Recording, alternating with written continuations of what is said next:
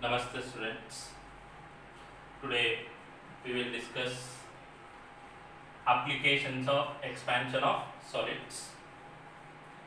Uh, in the previous lecture we have discussed expansion of solids. Now we will discuss applications of expansion of solids. So generally if we observe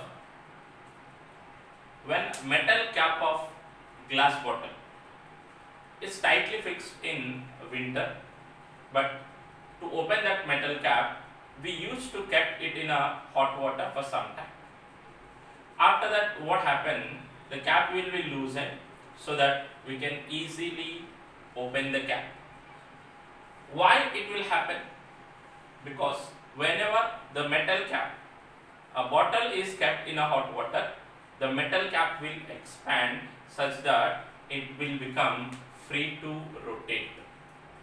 So here to open a metal cap in winter the expansion of solid is used because that metal cap is kept in hot water so that it will expand so that we can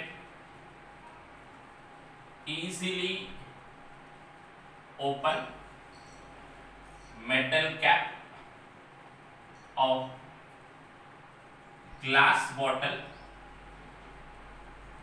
by keeping it in hot water for some time.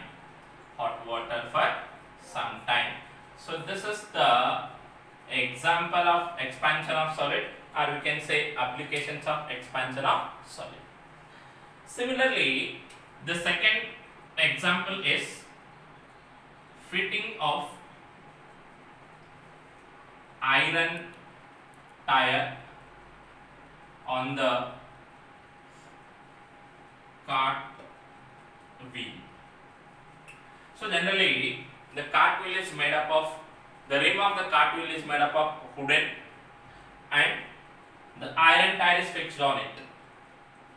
So it is fixed by heating the iron tire such that its diameter increases.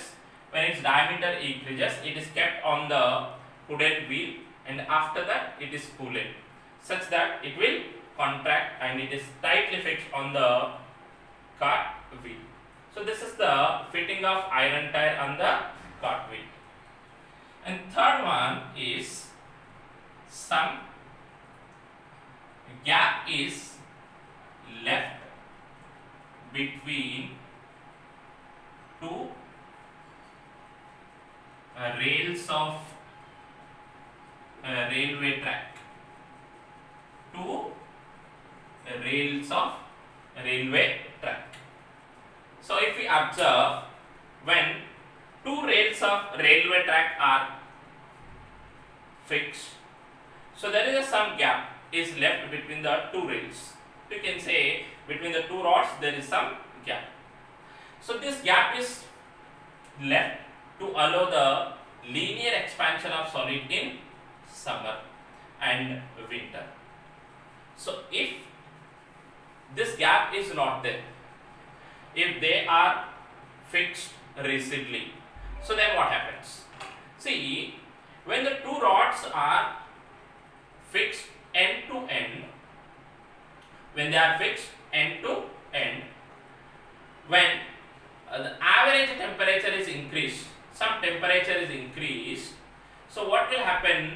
The rods will expand. When both the rods will expand, so there is no choice of expansion, so that this rod will bend. So to avoid this bending of rods, some gap is left. So now we will see when the gap is left, when the gap is left, if these two rods are expanded slightly, so there is no force is applied on either rods. Means this rod does not apply force on this rod, this rod does not apply force on this rod, so that they can freely expand.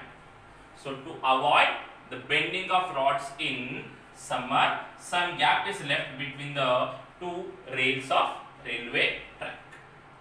And so here some gap is left between the two rails of railway track to allow the linear expansion in summer and winter. The next application is when when small water drop is felt on the hot glass bulb it will break. What happens when a hot thin glass bulb is there? If a small raindrop or water drop is fall on that glass bulb it will break. Because here the total surface of the glass bulb is hot. But when a small drop is incident on it or felt on it. So what will happen? Some region some space some area okay what will happen? It will cool down. So when it is cooled down it will try to contact. So due to the uneven expansion of glass so it will break. Similarly we can say when a hot water is taken or poured into glass tumbler or glass container when when hot water taken in a glass container container it will get cracks so generally the glass container is some thick glass made up of thick glass so that when hot water is poured into that. What happens the inner surface of the glass will try to expand but outer surface remains the same. So when the inner surface is trying to expand the outer surface does not allow it so that again there is an uneven expansion of glass. So due to this uneven expansion it will get some cracks on it.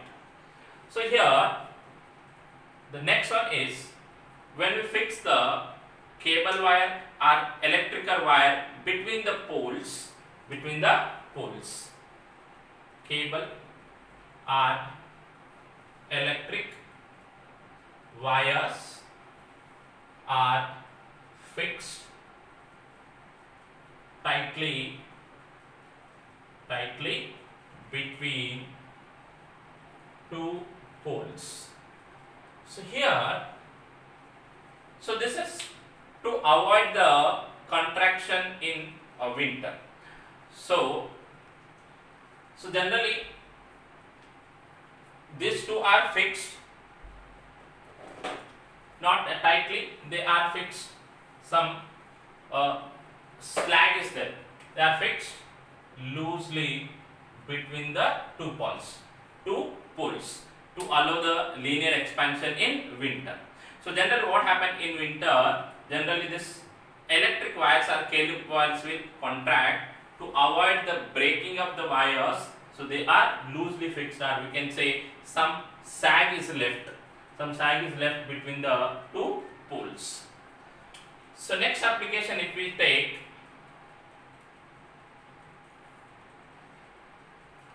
so here to fix the wooden into the glass bottle. Yeah metal cap to the glass bottle. So this linear expansion is used. Now we'll see the time period of time period of oscillations of oscillations of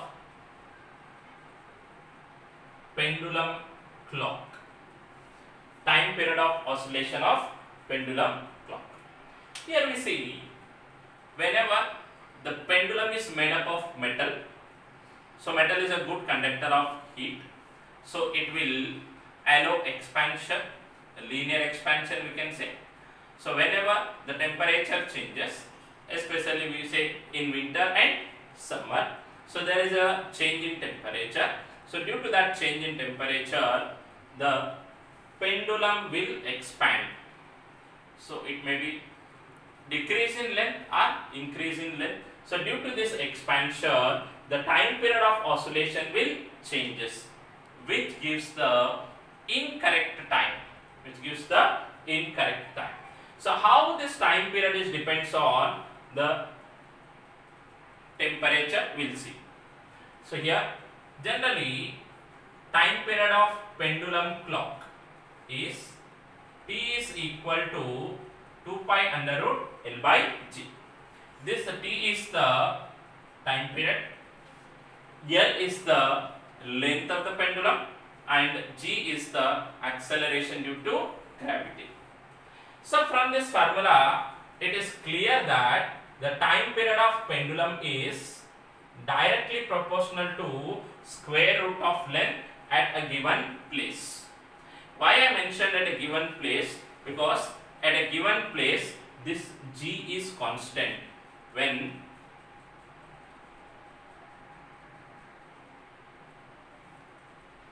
so from this equation we can say that T is directly proportional to root L at a given place.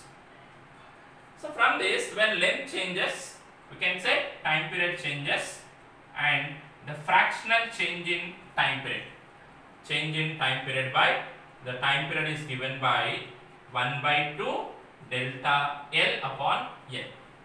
So from the approximation method we will write this one. Now when temperature changes suppose when temperature changes by delta theta. When temperature is changed by delta theta, what happen? Length of the pendulum changes and here we can write a change in length by original length is equal to alpha delta theta. So delta L by L is equal to much? alpha delta theta so that we can write delta t by t is equal to 1 by 2 in place of delta n by l we write alpha delta theta so this is the change in time period by time period suppose if a time period is 1 second so we can say the loss or gain in a time per second loss or gain in a time per second. So delta T by T is equal to how much we have? 1 by 2 alpha delta T. We can say when a temperature is changes by delta theta, its time period is changes by delta T and delta T by T is equal to 1 by 2 alpha delta theta. So that we can say loss or gain in time per second means in one second how much loss of time or how much gain in time will takes place it is 1 by 2 alpha delta theta so loss or gain in time per second suppose if i want to calculate loss or gain in time per day. In one day, how much loss or gain in time will take place? This is in one second into number of seconds in one day. How many number of seconds are there in one day? 86,400 seconds are there. So that loss or gain in time is 1 by 2 alpha delta t into 86,400 but how should we know either time loss or gain? For example, we'll say if temperature that is theta increases. When temperature increases, from that equation we can write the length of the pendulum increases, length of the pendulum increases so that its time period also increases. Generally, what is mean by time period? The time period is nothing but the time taken to complete one oscillation. or we can say the time taken to complete one rotation by the seconds hand. So now it is taking more time.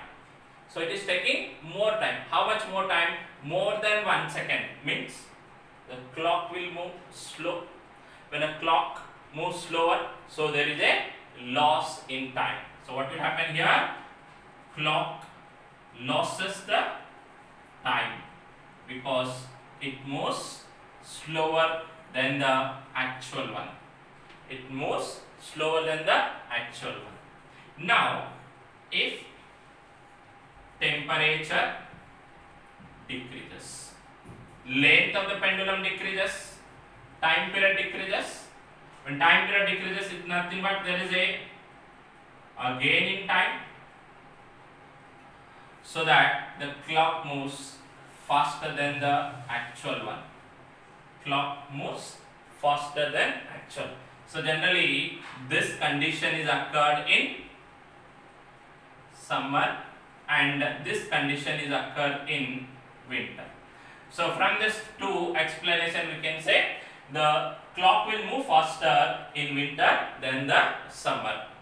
Clock will move faster in winter than the summer because in winter the temperature is lower than the average value and in summer the temperature is uh, more than the average value so that the time period is more than actual one here the time period is less than the actual one so that the clock loses the time and it will move slower.